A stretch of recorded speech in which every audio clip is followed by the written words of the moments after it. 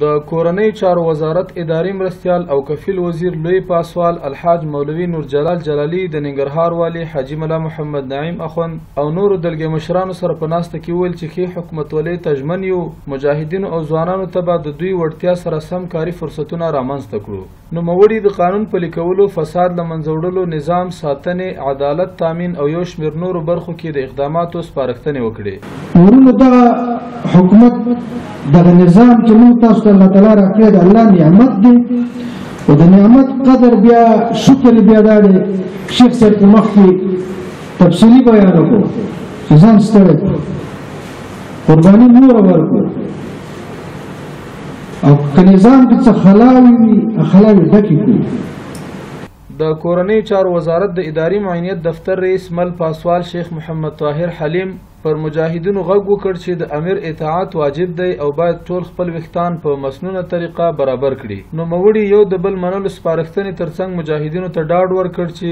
د خپلې وړتیا له مخې به مناسب ځای کې وګمارل شي. چې کوم ماتحت خلک دي هغوی به د امیر په اطاعت کې د امیر د اشارو په منلو کې د امیر د اقوالو د افعالو په منلو کې موافق د شرع هغه به کار ثواب ګڼي باعث د اجر او باعث د خیر د دارینو به ګڼي نو مونږه بیعت کړی د امیر المؤمنین سره د یاد وزارت د پیژنتون لوی رئیس پاسوال نجیب الله حکمت وویل چې ټول مسؤلین مکلف دي ترڅو پر دنده او له دندې بهر مجاهدینو نوملړ ور سره شریک کړي هغه زیاته کړه د مجاهدینو ګمارنه به تحصیلي درجې ته په کتنې مناسب ځای کې کیږي او هیڅ څوک به هم له دندې محروم پاتې نه شي. نهه کمېټې جوړې شوې دي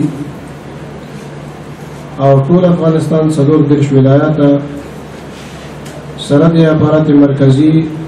د دې لپاره نهه کمېټې تشکیل شوې دي هغه نهه کمېټې چې دا نهه زونونه تشکیلوي هر زون ته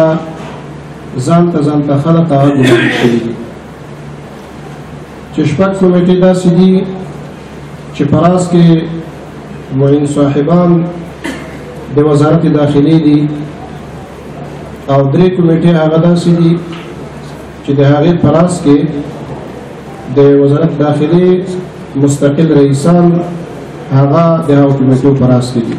د یادې غونډې پر مهال د ننګرهار والي حاجي ملا محمد نعیم اخوند مسؤلینو په ګمارنو قانون او د اوامرو تطبیق په موخه د جدي اقداماتو ډاډ ورکړ په دې غونډه کې د وی محمد رباني ناصح امنیه قومندان مولوي قیام او نور مسؤلینو هم حضور درلود